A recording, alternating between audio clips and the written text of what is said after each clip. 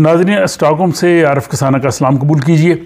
Sweden में एक बहुत बहस होती है और बहुत से वालदेन ये पूछते हैं कि बच्चों के लिए स्वीडिश स्कूल ठीक हैं या अंग्रेज़ी स्कूल ठीक हैं? और फिर उनमें भी कि क्या जो सरकारी स्कूल हैं, जो कम्यून के स्कूल हैं, म्यूनसिपल स्कूल्स, क्या वो अच्छे हैं तालीम देने के लिए? या जो प्राइवेट स्कूल है, वहाँ का मैार ज़्यादा अच्छा है तो बच्चों को किन स्कूलों में भेजना चाहिए? और फिर यहाँ पे जो इंटरनेशनल इंग्लिश स्कूल्स हैं बहुत से तारकिन वतन जो उन ममालिक से आते हैं जहाँ पे अंग्रेज़ी ज़बान जो है वो ज़्यादा राइज है, जैसे पाकिस्तान, बांग्लादेश, इंडिया, श्रीलंका वगैरह। तो वहाँ पे चूँकि वो अंग्रेज़ी के एक प्रेशर में होते हैं, वहाँ पे अंग्रेज़ी ज़रिए तालीम भी है, बल्कि ऑफिशियल लैंग्वेज भी है तो उन वालदेन की भी ख्वाहिश होती है कि बच्चे यहाँ पे जब आए हैं तो क्या उनको इंटरनेशनल इंग्लिश स्कूल्स में भेजना चाहिए? और स्वीडन में जो है वो तमाम तरह के स्कूल्स हैं। यहाँ पे म्यूनसिपल स्कूल्स भी हैं और यहाँ पे प्राइवेट स्कूल्स भी हैं, यहाँ पे इंटरनेशनल इंग्लिश स्कूल्स भी हैं। लेकिन इन तमाम स्कूल्स को स्वीडन का जो स्कूलों का इदारा है, वो इनको सुपरवाइज़ करता है और उनके लिए जो सिलेबस है, जो उन्होंने बनाया, वो सबको उस पर अमल करना पड़ता है। फिर यहाँ पे कुछ मजहबी स्कूल भी हैं इस नोयत के स्कूल भी हैं, लेकिन तमाम स्कूल जो हैं, वो उस गवर्नमेंट की सुपरविजन के अंदर आते हैं। अब, आज की जो गुफ्तु में ज़्यादा हम बात करना चाहेंगे कि क्या जो बच्चे यहाँ पे स्वीडन में रह रहे हैं, उनको अंग्रेज़ी स्कूलों में भेजना चाहिए। इंटरनेशनल इंग्लिश स्कूल जो है, वो अच्छे हैं। या जो नॉर्मल स्वीडिश स्कूल है, जो कम्यून के स्कूल है, वहाँ पे जाना चाहिए। और इस बहस का जो एक पहलू स्वीडिश मीडिया में भी आजकल नज़र आ रहा है। स्वीडिश मीडिया में में भी ये बात हो रही है कि जो बच्चे इंटरनेशनल इंग्लिश स्कूल्स में जाते हैं या अंग्रेज़ी स्कूलों में जाते हैं, उनकी जो स्वीडिश ज़बान है, वो इतनी अच्छी नहीं होती, वो कमज़ोर होती है।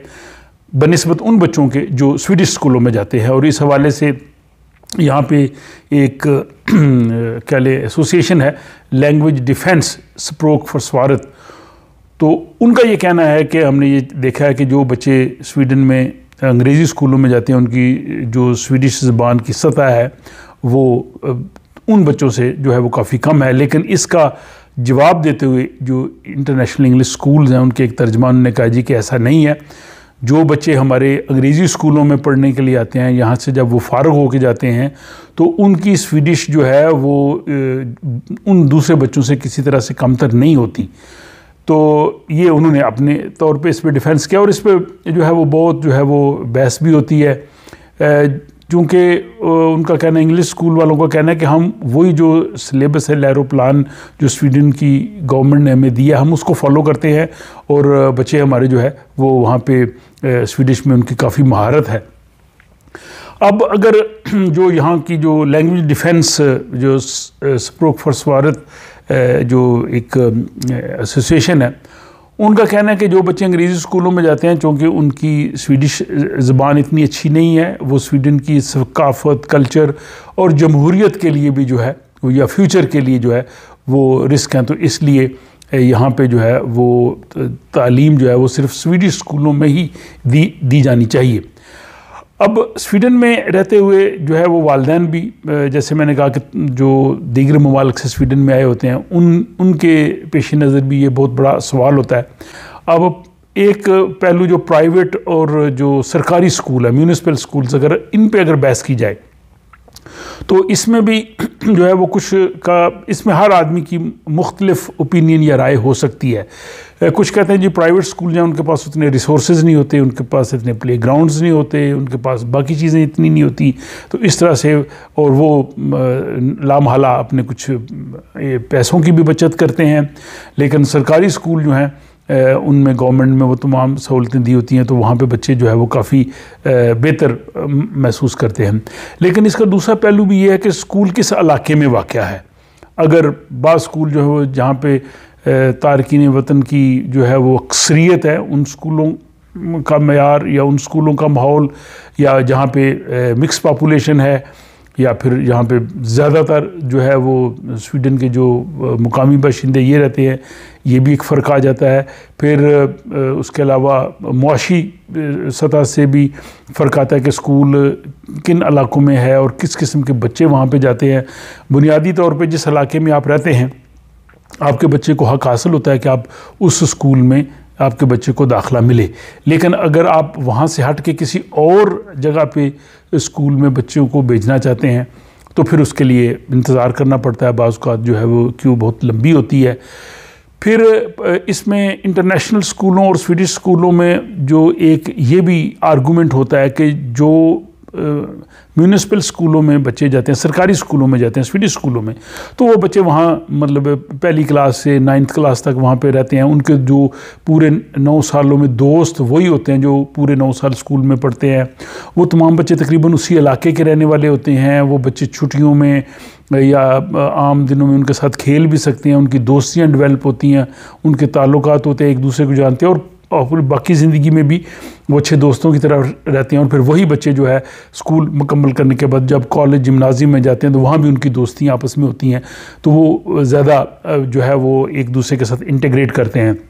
लेकिन इंग्लिश स्कूलों में या इंटरनेशनल स्कूल्स में बहुत से ऐसे पेरेंट्स आते हैं जिन्होंने स्वीडन में दो तीन साल रहना होता है। ज़्यादा देर के लिए रहना होता है या उनका ख्याल होता है कि यहाँ से किसी और जगह चले जाए तो वहाँ पर चूँकि बच्चे आते जाते रहते हैं वहाँ पे शायद बच्चों की उस तरह से दोस्तियाँ डेवलप नहीं होती। लेकिन दूसरा पहलू, वो कहते हैं कि वहाँ पे चूँकि इंटरनेशनल इन्वायरमेंट होता है, वहाँ पे मुख्तलिफ़ मुल्कों से बच्चे आते हैं, वहाँ पे मुख्तलिफ़ वालदेन को मिलते हैं, बच्चे उनसे बहुत कुछ सीखते हैं। तो उस लिहाज से जो है, वो ये भी एक बड़ी अहम पहलू है। फिर सवाल ये होता है कि आप के जो बच्चे हैं, आपने उनके बारे में क्या सोचा है? या स्कूल मुकम्मल करने के बाद बच्चे आगे क्या करना चाहते हैं? क्योंकि स्कूल तक का तो वो कहते हैं कि चूँकि वो अगर इंग्लिश स्कूल में भी जा रहे हैं तो उनको वहाँ पे स्वीडिश पढ़ना पड़ती है। फ़र्क सिर्फ़ ये होता है कि बाकी सब्जेक्ट्स जो है, वो इंग्लिश स्कूल में अंग्रेज़ी में होंगे। और स्वीडिश स्कूल में जो बाकी सब्जेक्ट हैं, जैसे मैथमेटिक्स है, या साइंस है, या रिलीजन है सोशल स्टडीज़ है, वो स्वीडिश ज़बान में होगी, वहाँ पे अंग्रेज़ी ज़बान में होंगी। तो ज़बान का फ़र्क तो लाजमी पड़ता है, ये, क्योंकि जो बच्चे तमाम सब्जेक्ट स्वीडिश ज़बान में पढ़ते हैं, वहाँ पे ज़ाहिर डेफिनेटली उनकी लैंग्वेज में फ़र्क तो होगा। लेकिन अब आपका मोटिव क्या है कि कॉलेज के बाद यूनिवर्सिटी लेवल पे बच्चे कौन सी तालीम हासिल करना चाहते हैं? क्या बच्चे स्वीडन में रहना चाहते हैं? या आपका प्लान ये है कि कॉलेज के बाद यूनिवर्सिटी लेवल पे बच्चे किसी और मुल्क में जाना चाहते हैं? अगर तो किसी और मुल्क में जाना चाहते हैं, किसी इंग्लिश जो है वो मीडियम ममालक में बच्चे यूनिवर्सिटी में पढ़ना चाहते हैं तो फिर तो डेफिनेटली इंग्लिश स्कूल जो है वो बेस्ट ऑप्शन है। लेकिन अगर बच्चों ने स्वीडन में ही रहना है यहीं उन्होंने यूनिवर्सिटीज़ में जाना है। तो उसके लिए लामहला स्वीडिश स्कूल जो हैं या स्वीडिश में जो उनकी महारत है, वो बहुत अहम है। लेकिन यहाँ पे मैंने देखा बहुत से हमारे जानने वालों के बच्चे जो हैं, वो इंग्लिश स्कूल्स में पढ़े हैं और इंग्लिश स्कूल्स में पढ़ने के बाद फिर उन्होंने यहाँ पे स्वीडन की मुख्तलिफ़ यूनिवर्सिटी से डिग्रियाँ ली हैं, यहाँ पे काम कर रहे हैं। तो उस लिहाज से कोई इतनी बड़ी डेफिशेंसी उनमें उस तरह से नज़र नहीं आती।